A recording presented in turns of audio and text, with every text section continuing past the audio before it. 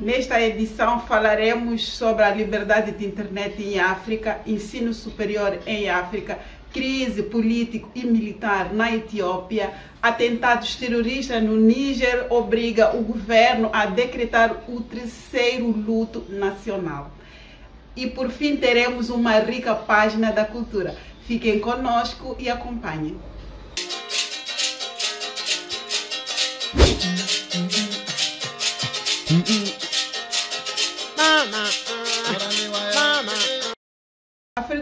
Acaba de publicar o relatório anual sobre a liberdade na internet a nível mundial.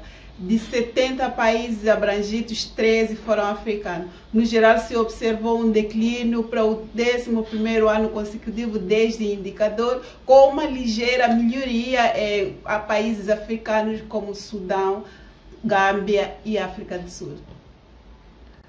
O único país lusófono da lista foi Angola, que se classificou no quarto lugar entre os 13 países africanos, depois de África do Sul, Quênia e Gana. Ao passo que em Uganda e Ruanda a situação piorou. Os maiores obstáculos à liberdade de internet em África são constituídos pelas limitações aos conteúdos por parte dos vários governos e pela violação dos direitos dos usuários. A internet em África ainda representa um desafio. Apenas 22% da população está ligada à internet, contra cerca de 90% entre os países mais desenvolvidos. E para analisarmos esta situação da liberdade na internet em África, convidamos conosco o professor Mário da Fonseca, docente da Universidade Eduardo Mondlane e formado em jornalismo. Professor Fonseca, seja bem-vindo à TV Tisca. Tendo o professor estudado a democracia na internet em África, de que modo eh, os governos costumam limitar e controlar a livre informação na internet? E como eh, os internautas contornam isso?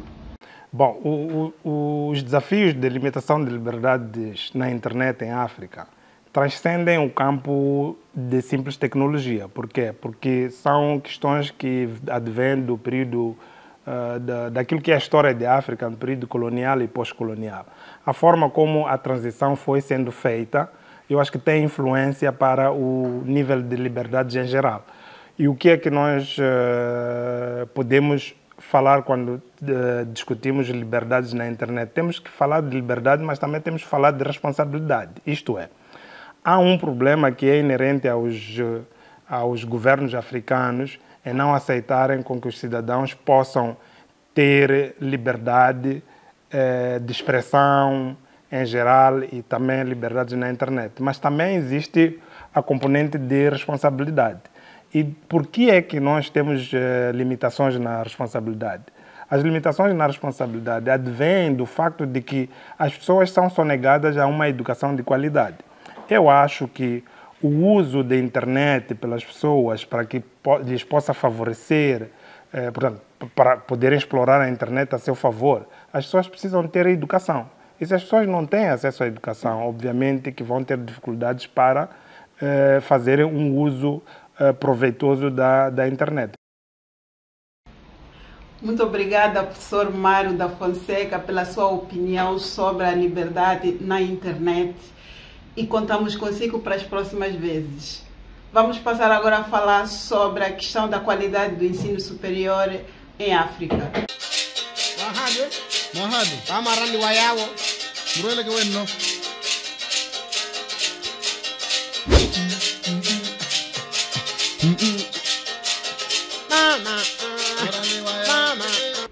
Publicado há poucos dias o ranking acadêmico internacional relativo ao indicador QS. A amostra abrange 1.300 universidades em todo o mundo, consoante seis indicadores.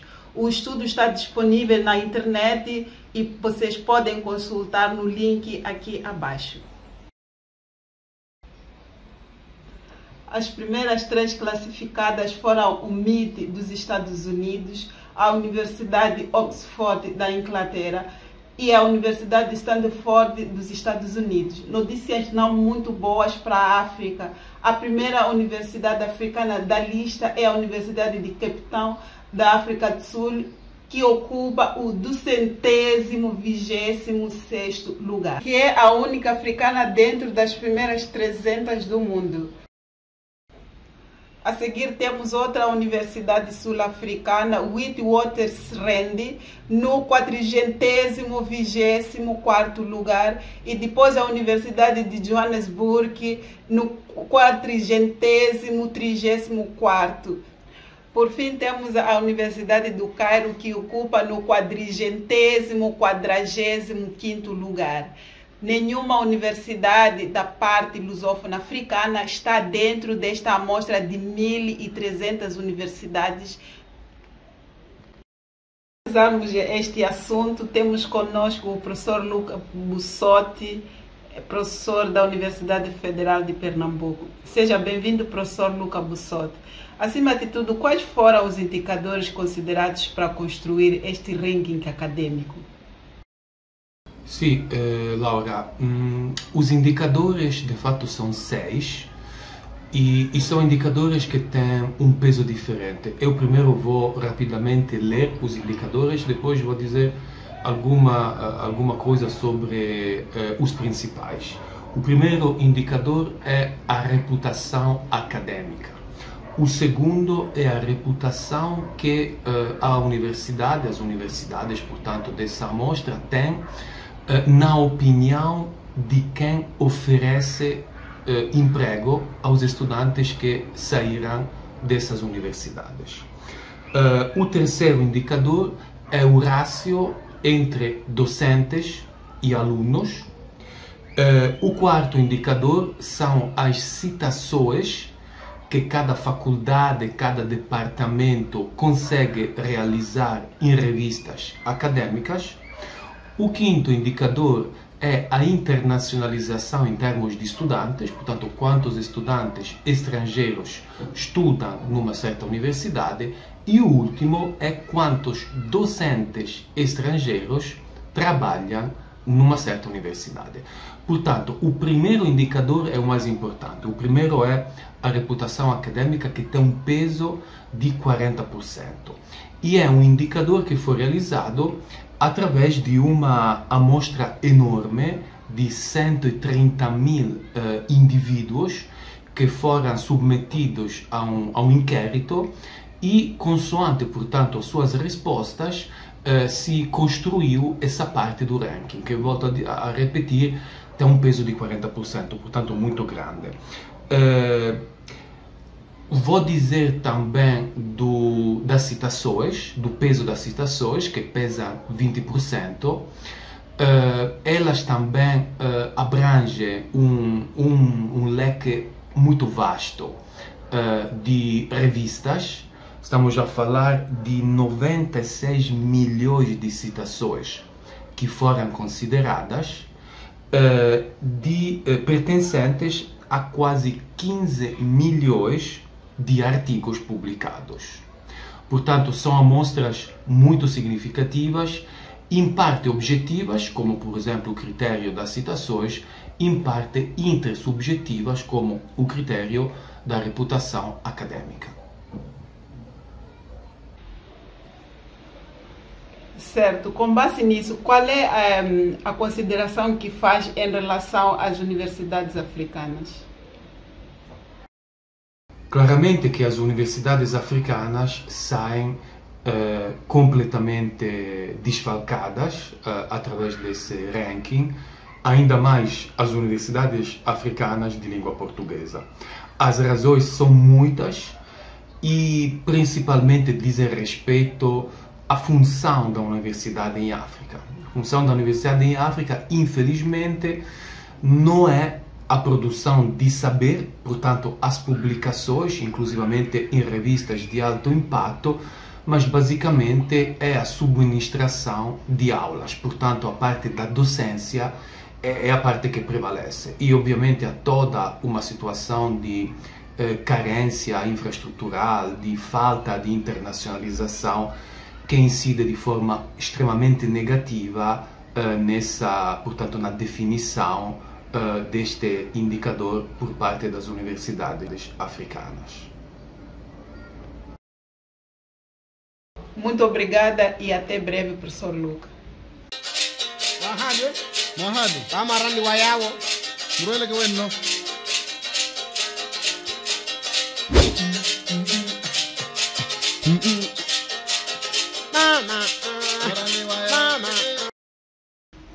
Passemos agora a falar sobre a situação político-militar na Etiópia.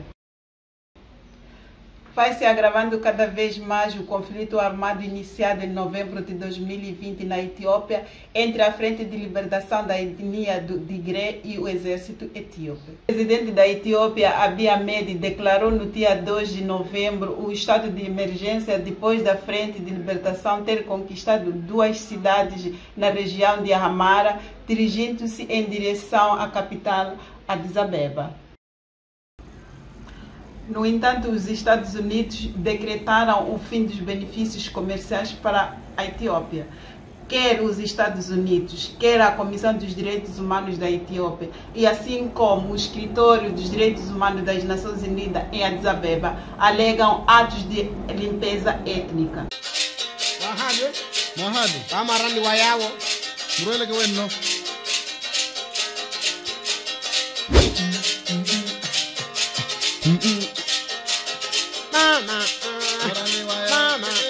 Aprofundarmos a situação político-militar na Etiópia, estamos conosco Humberto Mari, da Time for Africa, que desejo boas-vindas à TV Tiscam. Qual é a situação militar neste momento na Etiópia, Humberto? A situação militar de hoje eh, eh, evidenciou todas as fragilidades do governo federal e áspero planejamento. A iniciativa militar de novembro do ano passado, que tive que fechar com a queda do Tigray dentro de dois, três meses, mostrou-se arriscada. E, apesar da intervenção das tropas da Eritreia em Tigray, o exército e os grupos de defesa tigrina não se dissolveram. Isto não obstante toda a violência eh, que foi perpetrada em aquela, em, em aquela região tigrina. Na sua opinião, quais são as razões do conflito na Etiópia?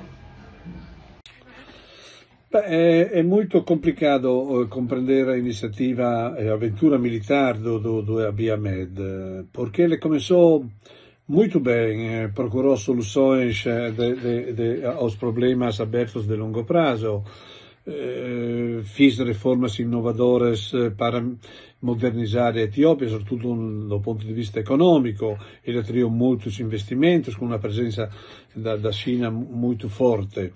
Fiz também o acordo de paz com, com a vizinha Eritreia, após de cerca de 20 anos de, de, de, de, conflitos, não? É por isso que ele recebeu depois, mm, eh, no 2019, o Prêmio Nobel pela Paz. Praticamente um conflito de poder eh, e, cujo objetivo era aquilo de manter o domínio dos do grupos étnicos maiores, que são os oromos e os amaras. Então, eh, esta foi, mm, vamos dizer assim, a, a aposta do, do, do Abiy Ahmed, eh, no? una luta de poder planeada, e para fazer isso, però, era necessário encontrar os casos bellis, como se diz desta forma, no? E o, o casus bellis foi iniciado, innescado eh, eh, da um ataque das forças tigrinas numa base do exército federal sempre no Tigray, no? Ela, aquela foi, vamos dizer assim, o casus bellis, mas o problema verdadeiramente surgiu um bocado antes, no? Quando as autoridades do Tigray recusaram o lockdown nacional para poder efetuar as eleições regionais que estavam agendadas no, no setembro de 2020. Então, eh, eh, o, o, governo, eh, o governo o governo tomou posição sobre esta, eh, eh, esta decisão, esta escolha do governo de Tigre, e ali começaram a, a como se diz, a, a, a começaram os problemas, não? E, que depois eh, foram eh, enfrentados eh, com, um, com a guerra. Na sua opinião, Humberto, quais são as responsabilidades políticas do presidente Ahmed e da comunidade internacional? Yeah. E Ahmed tomou posse no abril de 2018 e é o primeiro ministro eh, oromo da recente história eh, da Etiópia. Claro que ele herdou uma, uma situação bastante difícil do ponto de vista do ponto di vista social e economico, no? E, ma a primeira coisa que ele fez eh, foi quero de, conseguir de assinar o acordo de paz com a Eritrea, como estávamos a dizer antes, que esta foi, eh, foi a, a, causa positiva para, para receber o primeiro Nobel da Paz. Eh, após disso, iniciou reformas econômicas eh, muito importantes eh, que introduziram eh, o liberismo substancialmente, o liberismo que foi em substituição do dirigismo centralizado da economia da economia etiópica, não? Assim, assim estas reformas, claro, foram acompanhadas também com acordos e com a colaboração do Fundo Monetário Internacional, em maneira particular. Quindi um acordo, eh, um acordo com estas grandes instituições internacionais para lançar eh, políticas de, de ajuste estrutural. Nós sabemos que ajustamento estrutural eh, gerido pela Banco Mundial e pelo eh, Fundo Monetário na África foram bastante péssimas, não? Ma contudo, eh, eh, contudo iniziò un um processo de liberalização eh, eh, eh, da economia. No? Eh, após disso, também o ABI eh, começa a desenhar uma estrutura eh, política administrativa com a constituição do, do, do, novo partido unificado, no? o partido da, da, prosperidade, no? um partido novo, unificado, regional, no? ma esta estas iniciativas não foram suficientemente discutidas com os outros da, eh, eh, do, do, governo, não? E, e, e praticamente estas eh, estas eh, iniciativas de ABI foram eh, contribuíram a, a, quebrar o pacto eh, da aliança no governo e questo causò também contemporaneamente una crisi con a componente tigrinha. E, além disso, com o partido claramente de TPLF, que eh, tornou-se o principal adversário e oponente eh, de Abiy Ahmed. Muito obrigada, Humberto Marino, por estar conosco e dar a sua opinião. Até próximas vezes. Vamos passar agora a atualizar as notícias do Níger. Declarados três dias de luto nacional no Níger, depois de uma nova chacina em que foram mortas 69 pessoas devido a um ataque ainda não reivindicado, mas certamente protagonizado pelo Estado Islâmico do Grande Sahara. Este ataque aconteceu no famoso triângulo entre Níger, Burkina Faso e Mali, onde o Estado Islâmico tem uma das suas bases principais. A região sul-ocidental do Níger, juntamente com a zona sul-oriental que faz fronteira com o Níger, são consideradas entre as mais perigosas de todo o Sahel. Só este ano, os atentados terroristas já fizeram 530 vítimas mortais no Níger e o governo declarou pela terceira vez em 2021 o luto nacional.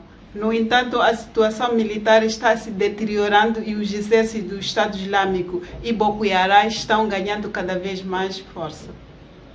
E para analisar essa situação, estamos de novo com o professor Luca Bussotti. A que se deve esta deterioração militar no Níger?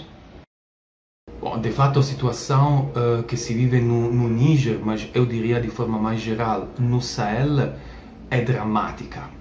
nós temos que uh, saber que hoje em dia existem três grandes áreas uh, em que o terrorismo islâmico, nas suas várias componentes, é muito bem enraizado. A primeira é a Somália, a Somália com alguns, digamos, elementos de crise eh, na fronteira sul com Quênia e ultimamente também com Moçambique, digamos mais ou menos é o mesmo tipo de terrorismo, Al-Shabaab, portanto. Uh, a segunda área é o Sahel, que abrange basicamente cinco países.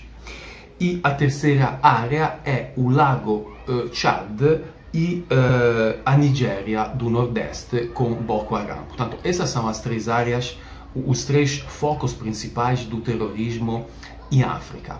Agora, a situação do Sahel provavelmente é a mais complexa porque envolve bem cinco países e a situação pior se vive uh, na, no triângulo que a própria Laura estava, estava a, recordar, a recordar, portanto, na fronteira de, um, ehm, de três desses países, Burkina Faso, Mali e Níger. E provavelmente é difícil sempre estabelecer uma origem, mas provavelmente a origem desta situação tem que ser procurada no Mali. O Mali que desde pelo menos 2012 com a, a revolta dos Tuareg uh, começou, o Estado do Mali começou a colapsar em 2013, a França teve que intervir para, digamos assim, salvar uh, a, a, essência do, do Estado do Mali, mas daí depois o conflito continuou e se alastrou para os outros países mais próximos, inclusivamente eh, o Níger. Que medidas estão sendo tomadas por parte quer do Níger, quer dos outros estados do Sahel?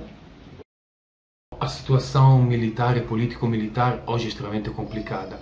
Nós temos que saber que no, na primeira metade de 2021 no Sahel uh, se registraram cerca de uh, eh, 2.600 vítimas devido a esses ataques.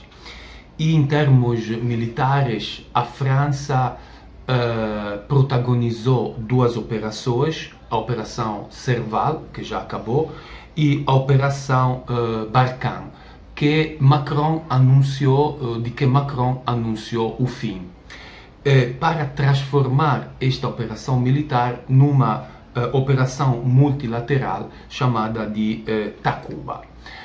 Os cinco estados do Sahel já formaram uma organização político-militar que visa a segurança uh, do território. Mas, obviamente, a redução, por exemplo, dos efetivos franceses de cerca de 5 mil a aproximadamente a metade não vai favorecer a luta contra o terrorismo.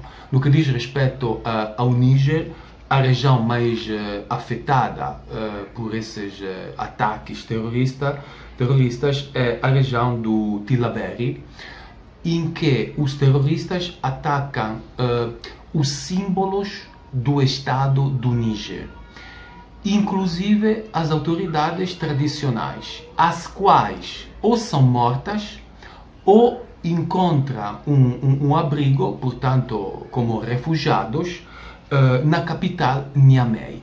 E isso faz com que essas comunidades percam os seus líderes e, portanto, o próprio controle do Estado nessa região uh, fundamental uh, é extremamente limitado. Portanto, a situação é essa e certamente que será necessário muito tempo e uma abordagem provavelmente não apenas militar, mas também uma abordagem que favoreça a reintegração das pessoas, uh, criação de emprego, etc. Quero recordar que o Níger é o pior país do mundo em termos de índice de desenvolvimento humano eh, para que a situação uh, consiga ter uma viragem positiva.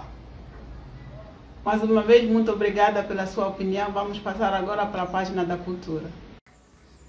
A cultura africana em alta, com três autores africanos que ganharam três importantes prêmios literários. Abdul Razak Gurnata, Tanzânia, nascido no ex-sultanado de Zanzibar em 1948, ganhou o Prêmio Nobel da Literatura graças às suas obras dedicadas a temas sobre refugiados. Gurnah foi obrigado a deixar o seu país aos 18 anos de idade devido às perseguições contra os muçulmanos durante a Revolução de Zanzibar em 1964. Paulina Giziane, escritora moçambicana, ganhou o Prêmio Luís de Camões, o prêmio literário mais importante da literatura portuguesa. Trata-se da primeira vez que uma mulher africana ganha esta categoria de prêmios. Giziane foi também a primeira mulher em 1990 escreveu o primeiro romance publicado em Moçambique com o título Balada do Amor ao Vento. O terceiro prêmio foi atribuído ao escritor senegalês Mohamed Sarr, de 31 anos, que ganhou o prêmio literário francês mais importante, o Goncourt, com o romance A Mais Secreta Memória dos Homens. Nesse caso, também trata-se da primeira vez que um escritor da África subsaariana ganha prêmio desta categoria. Música angolana de luto. Morreu o cantor angolano Jacinto Chipa, originário da província de Uambo, no dia 3 de novembro, na capital angolana, Luanda, vítima de ataque cardiovascular. Foi um dos cantores mais conhecidos de Angola, tão que em 1987 e 1987 foi vencedor do programa Top dos mais queridos da Rádio Nacional de Angola. Entre as suas músicas destacam-se África, Mae Mae e Cartinha de Saudade. Gravou o seu primeiro disco em 1973. Tenho comigo o professor José Catito da Universidade de Luanda, que dou boas-vindas em nome da TV Chiscam. Professor José, qual é o retrato que faz do nosso saudoso músico que acaba de falecer? Calorosas saudações a Chiscam e a todos os lusófonos aqui a partir de Luanda. E é José Catito que vos fala. Jacinto Chipa foi uma figura musical central nas décadas de 80 e 90, um período de guerra civil muito acesa, em que as esperanças pareciam esvanecer. E ele conseguiu transmitir mensagens através da sua música, mensagens de paz e de esperança, especialmente para soldados e, e seus pais. Refiro-me a soldados que se encontravam na frente do combate. Também transmitiu mensagens contra a pobreza, as desigualdades sociais no país, contra a inércia dos povos africanos em lutarem para o seu bem-estar e, portanto, sobre a necessidade de os africanos começarem com uma profunda autorreflexão sobre os males que os afligem. Vários músicos, várias autoridades da cultura e da mídia eh, renderam, prestaram homenagem a Jacinto Chipa, mas nós esperamos que esta não seja mais uma ocasião de folclore, de ritual simplesmente, mas que a partir de agora comecemos a refletir sobre a música de paz e de reconciliação que marca os anos 80 e 90 e os anos mais recentes de guerra no país. Muito obrigado, até a próxima. Pela sua opinião e contamos consigo para mais vezes. Para fecharmos esta edição do nosso Africa News, vamos ficar com uma faixa musical do nosso saudoso músico Jacinto Chipa.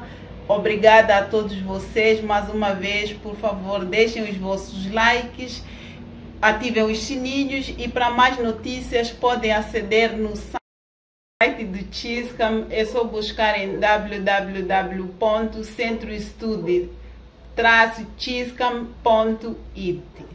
Obrigada e até a próxima.